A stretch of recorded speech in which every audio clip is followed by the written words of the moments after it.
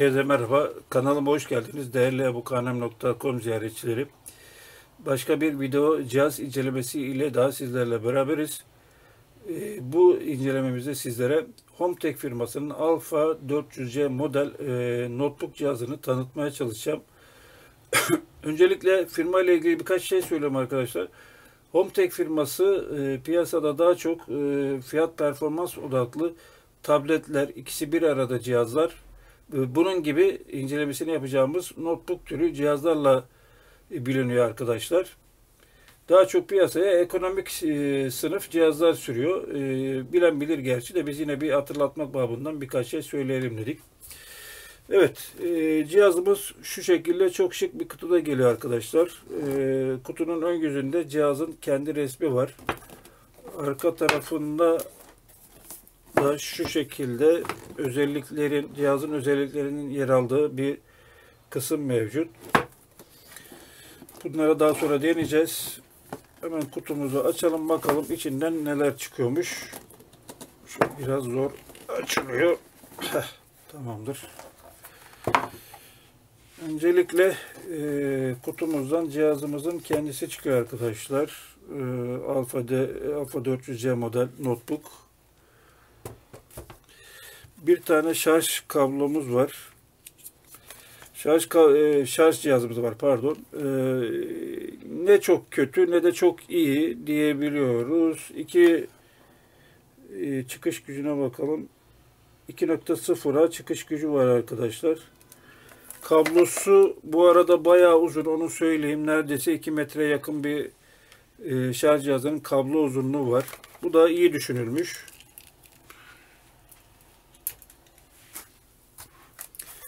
Kullanma kılavuzu var arkadaşlar. Şöyle hızlı başlangıç kullanma kılavuzu. Bunu da artık kim okuyorsa bilmiyorum. Bir tane de faturamız var. Başka da bir şey yok. Kenara alalım bunları.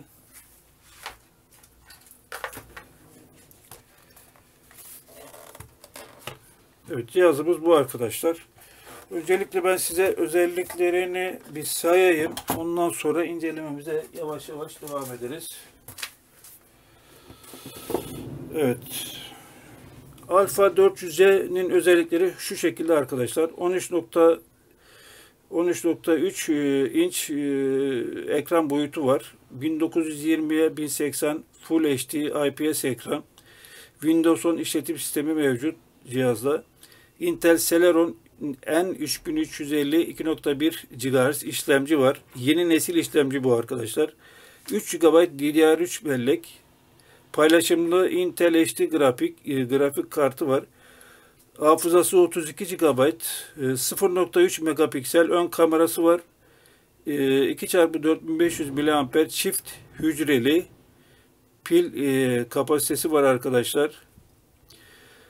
E, Bluetooth var. HDMI çıkışı var. İşte e, başka e, SATA 2.0 harici HDD ve SAT, e, STD desteği var arkadaşlar. Boyut olarak da 326 çarpı 216 çarpı 3 çarpı 23 milimetre. Yani çok kalın bir cihaz değil, çok ince bir cihaz arkadaşlar. Ağırlığı da aşağı yukarı 1 kilo civarı bir şey geliyor. Evet cihazımızın özellikleri bu şekilde.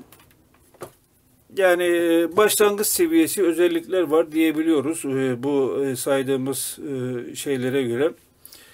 Cihazın kasa yapısından başta bahsederek incelememize yavaş yavaş devam edelim arkadaşlar. Alfa 400C model cihazımızın kasası komple plastikten yapılmış arkadaşlar. Tabi biraz bu metalik bir görüntüsü var bu plastiğin. Öyle çok e, süper bir malzeme olmasa da e, çok da ucuz bir e, şey e, cihaz izlenimi vermiyor arkadaşlar. Şu şekilde göstereyim. Komple hepsi tek bir e, malzemeden yapılmış. O dediğim plastik malzemeden yapılmış. Giriş çıkışlara bakalım hemen. Şurada hemen 3.5 milimlik bir e, kulaklık girişi var arkadaşlar.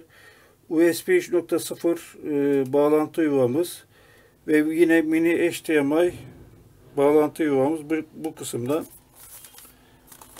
Öbür tarafa geçelim. Yine bir tane USB 2.0 bağlantı yuvamız bu kısımda. RC portu. Yine USB 2.0 bağlantı yuvamız bir tane daha var arkadaşlar. Bir de micro SD kart e, yuvamız mevcut. Buna da 64 GB'a kadar e, harici micro SD kart takabiliyoruz. Şurada kulaklık yuvamız bu taraftaymış. Yanlış söylemişiz.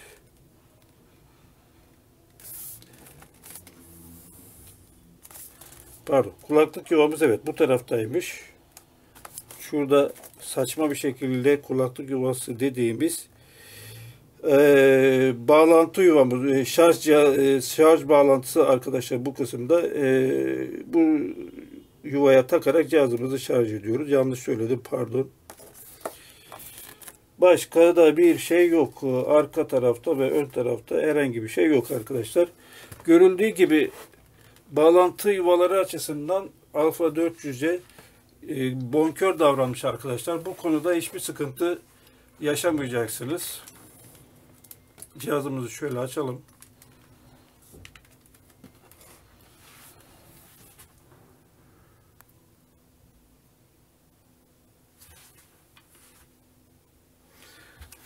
Evet, cihazımızın bağlantıları, kasa yapısı bu şekilde arkadaşlar. Şu ön tarafta yine e, cihazın e, kimi özelliklerinin yer aldığı e, şöyle bir etiket var arkadaşlar.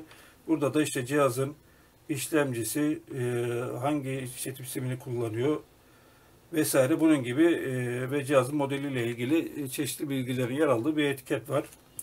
Şurada da Intel Celeron e, etiketini görüyoruz. Cihazı açalım.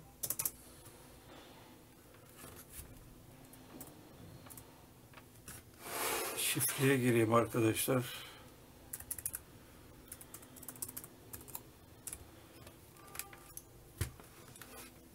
Evet şifremizi girdik. Cihazımızı da açtık. Cihazımızın ekranı e, şimdi arkadaşlar cihazın arayüzü ve performansı ile ilgili size birkaç şey söyleyeyim. Cihazın ekranı komple e, Full HD bir ekran var arkadaşlar. Bu ekranımız IPS teknolojisiyle üretilmiş. IPS teknolojisinin e, TN e, genelde bu tür cihazlar fiyat performans odaklı cihazlar TN ekranla gelir arkadaşlar. IPS olması bu cihazın çok süper bir şey. Kullanan bilir tabi. Bu IPS dediğimiz zaman kısaca size bilgi vereyim. Yani cihazı sağdan, soldan veya değişik açılarda baktığımız zaman görüntü kaybı olmuyor arkadaşlar. Yani her e, herhangi bir açıdan cihazın ekranına baktığımız zaman e, çok düzgün bir görüntü alabiliyoruz. TN ekranlarda bu tam tersi oluyor. Mesela şöyle TN ekranlarda yan baktığımız zaman çok görüntü kaybı oluyor. Vesaire bunun gibi. Yani cihazın ekranı IPS Full HD Yine söyleyeyim yine bu tür e, fiyat performans odaklı cihazlarda Full HD ekrana neredeyse hiç rastlamıyoruz arkadaşlar. Genelde HD çözünürlük hatta buna üst düzey normal laptoplarda bile rastlamıyoruz. E, genelde e, bu tür cihazlar HD çözünürlük olan 1366 768 bir ekranla geliyor. Kısaca cihazın Ekranı e, müthiş arkadaşlar. Çok güzel bir görüntüsü var. Yani bakmaya doyamayacaksınız. O şekilde söyleyeyim. Yani neredeyse e,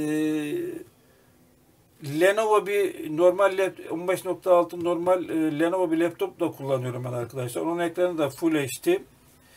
O cihazın ekranı ile bu cihazın ekranı arasında neredeyse kalite olarak bana göre hiçbir fark yok arkadaşlar. Çok güzel bir ekranı var.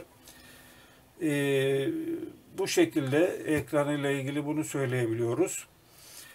Klavye yerleşimi biraz tabi e, sıkıştırılmış. Normal klavye düzeninden biraz e, farklı olmuş arkadaşlar. Mesela şurada e, yukarı aşağı sağ sol ok tuşları biraz küçük görünüyor.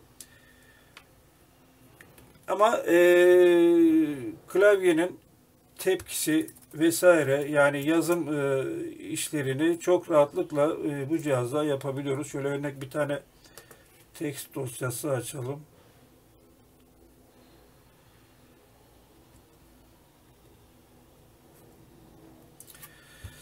E, deneme amaçlı diye bir tane abuk bir şey yazalım arkadaşlar.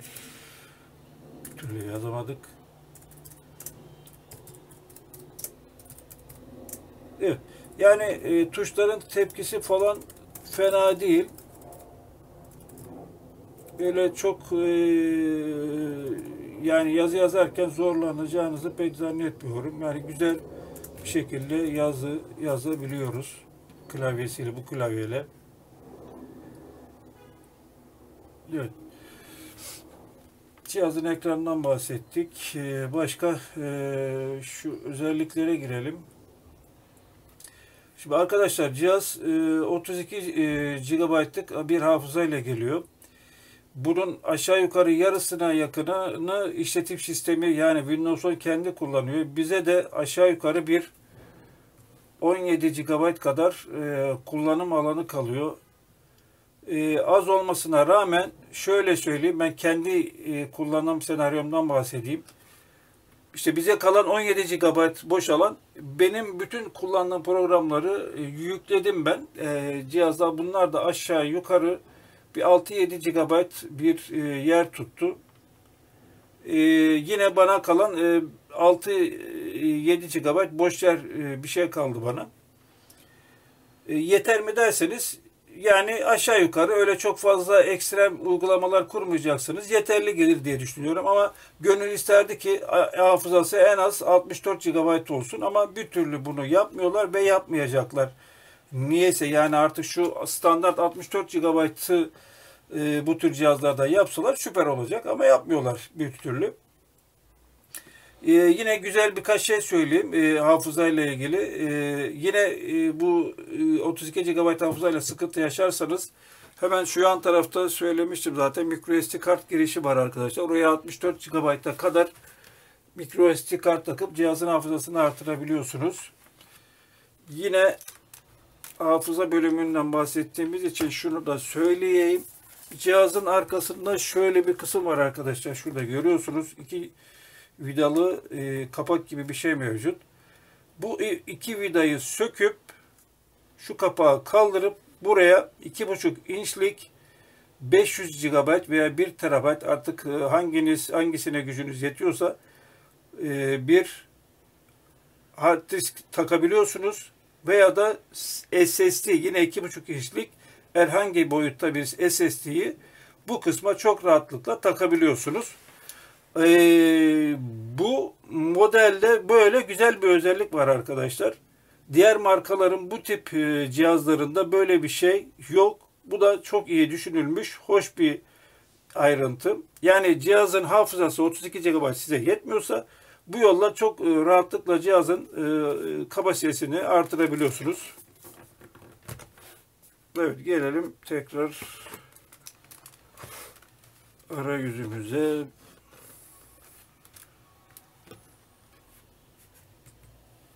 Tekrar şifreyi yazalım.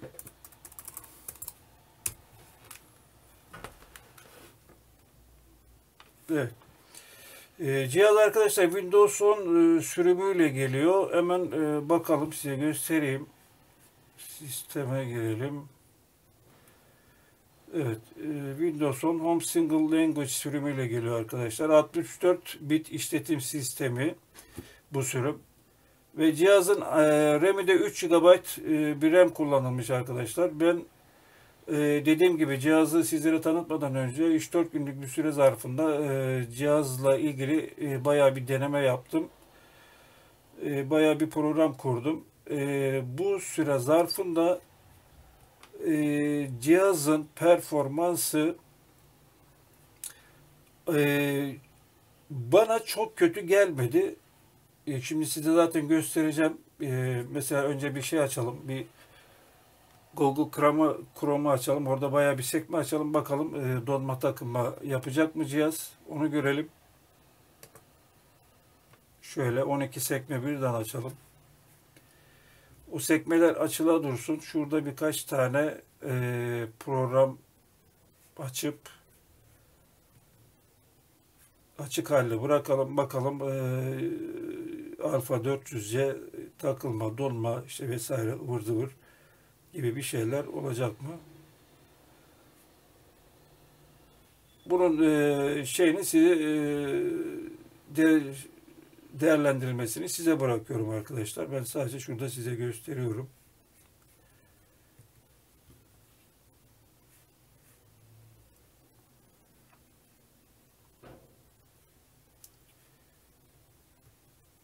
Evet. Sekmelerimiz açıldı mı ona bir bakalım. Şimdi sekmelerimiz açılmak üzere arkadaşlar. Şöyle e, hep bunu söylüyorum zaten de bulunduğum yer biraz e, internet e, çekim gücü olarak düşük kalıyor. O yüzden yani bu sekmelerin geç açılması cihazla ilgili değil arkadaşlar. Tamamıyla internet bağlantısıyla ilgili. Evet. O yüzden biraz geç açılıyor. E, cihazın kendisiyle ilgili değil. Evet yavaş yavaş açılmaya başlamış. Gördüğünüz gibi arkadaşlar neredeyse e, açılı bir 15 e, 2 4 6 en az 10-15 tane sekme açtım. Bir tane de video açalım.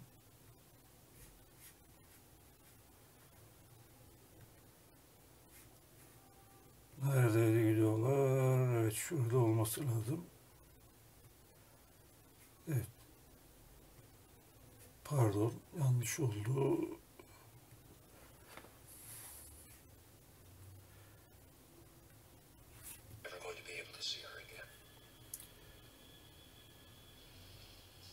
Evet. Geri planda da video oynatıyoruz arkadaşlar. Text dosyası açtık. İşte e, torrent indirme programı açık. E, Chrome browser birçok vekme, sep, vekme e, sekme sayfası açık halde arka planda çalışıyor. Yine 3-4 tane açık klasörümüz var. Başka yine şey açmaya devam edelim.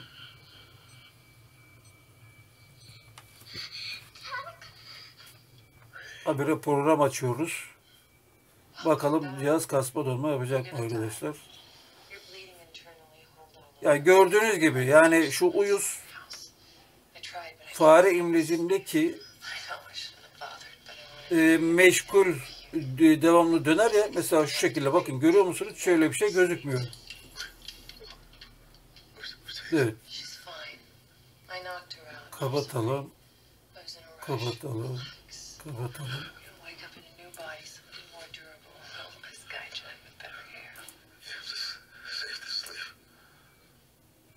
Yani e, cihazın performansı arkadaşlar gördüğünüz gibi e, gayet iyi. E, firmaya e, şey yapmak için söylemiyoruz. Biz önümüzde e, gördüğümüzde ise onu söyleriz. E, herhangi bir işte kasma, donma, işte takılma gibi bir şey olsa onu da söyleriz size. Ama siz zaten kendiniz görüyorsunuz. Herhangi bir şekilde e, kasma, donma cihazla e, bu kadar program açmama rağmen neredeyse hiçbir şekilde kasma, donma yaşamadık. Bunun da en büyük sebebi arkadaşlar e, MMC teknolojisi. Cihazda kullan 32 GB'lık MMC teknolojisiyle e, geliyor ya bu hafıza arkadaşlar. Bu da MMC teknolojisi SSD'ye yakın bir teknoloji. E, bir de buna işte e, o dediğim gibi 30 128'lik bir SSD taktığınız zaman e, olacakları artık siz düşünün. Yani Başka e, evet performansı aşağı yukarı cihazın bu şekilde arkadaşlar. Touchpad'den biraz bahsedeyim. E, gerçi zaten kullanırken görmüşsünüzdür. Touchpad'i de öyle çok fena değil arkadaşlar. Öyle süper olmasa da e, iş görecek vaziyette. Ama tabii biraz hassas olduğu kendini belli ediyor. Yani e, kullanırken biraz e, dikkatli davranmakta fayda var. Hani şöyle yumruktur vesairedir bir şeydir. e, yapmamak lazım. Hassas bir e, kısım burası. Ama görevini yapıyor diyebiliriz. Çok daha iyi olabilir miydi? Olurdu ama e, çok da kötü değil bu haliyle.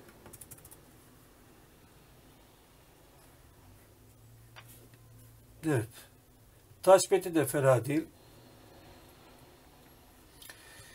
Başka ne söyleyebiliriz? Ee, işte 0.3 megapiksel kamera var arkadaşlar. Tabi haliyle e, bu ayarda bir şeyden ne beklentiniz olmasın. Hani web görüşmelerinde, internet, işte Skype vesaire videolu görüşmelerde işinizi görür diye düşünüyorum. Böyle çok fazla bir şey beklemeyin.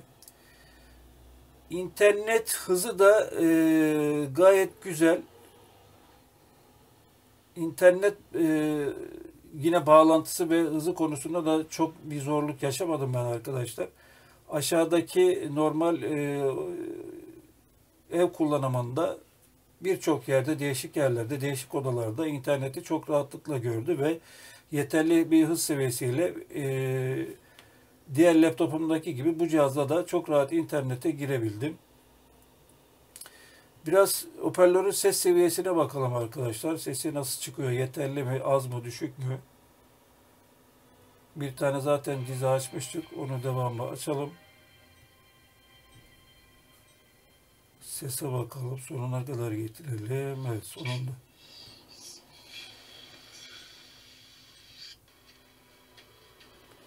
Evet cihazın e, hoparlör e, hoparlör ses seviyesi orta düzeyde diyebiliyoruz arkadaşlar. Yani bir tık daha e, yüksek olsaydı güzel olurdu diye düşünüyorum. Ama bu haliyle de harici bir hoparlöre gereksinim duyacağınızı pek zannetmiyorum. Yani işinizi görür. Çok da sıkıntı çekerseniz harici bir hoparlör bağlayabilirsiniz. Şu ileri saralım biraz. Arkadaşlar dediğim gibi görüntüler muhteşem gözüküyor bu ekranda. Bir tane de 4K video açayım arkadaşlar. Bakalım onu e, kasmadan oynatabilecek miyiz? Neredeydi? Şuradaydı. Evet. Samsung. E, Samsung e, televizyonlarda kullanmak için e, böyle bir videosu 4K videosu var arkadaşlar. O demoyu size açtım. Şu anda 4K bir e, video oynatıyoruz. Alpha 4 Alpha 400C'de.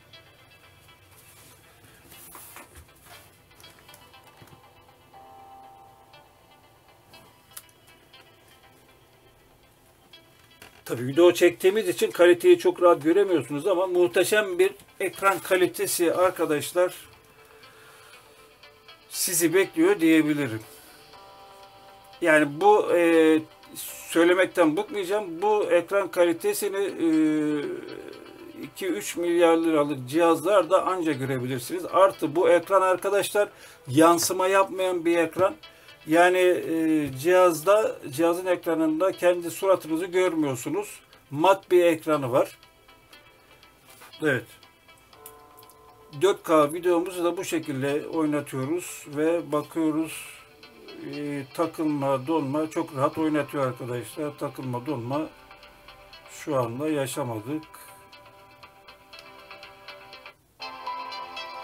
Ses seviyemiz de bu şekilde.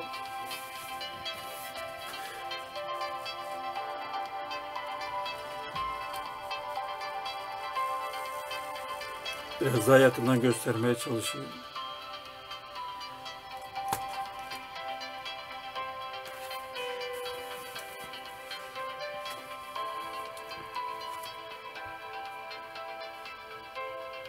Evet.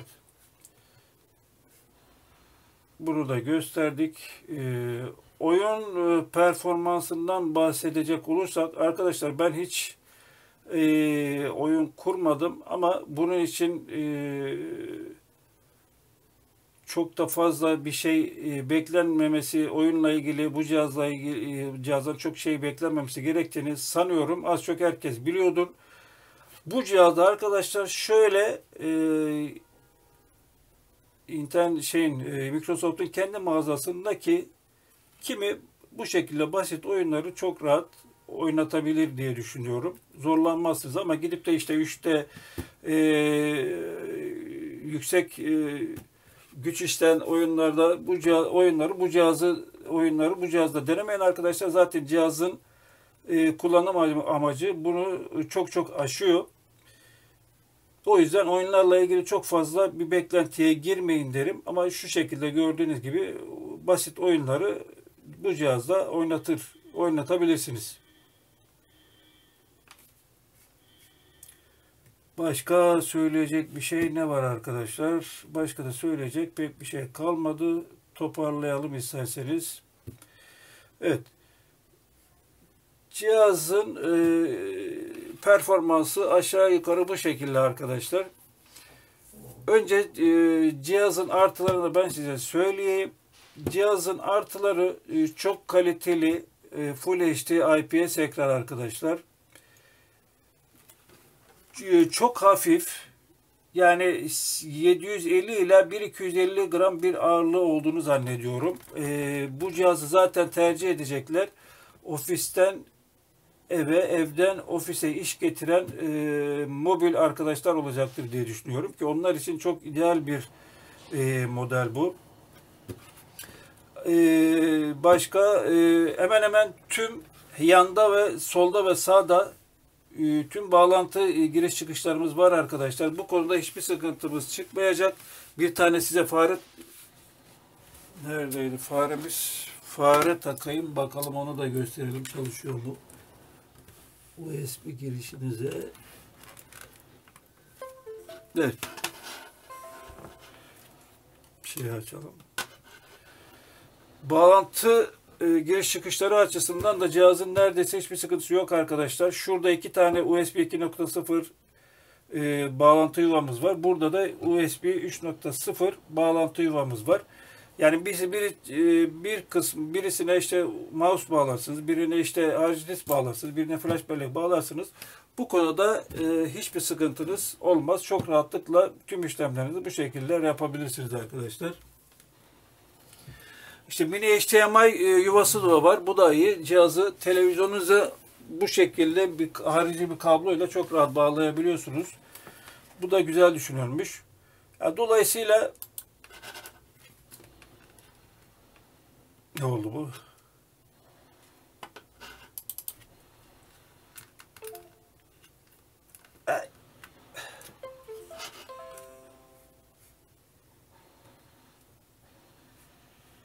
Bir tane flash bellek takmışım. Pardon yanlış şey yapıyormuşuz. Evet flash belleğimizi gördüm. Onu da test etmiş olduk. Evet, e, bağlantı yuvaları açısından e, bu konuda hiçbir sıkıntı yok arkadaşlar.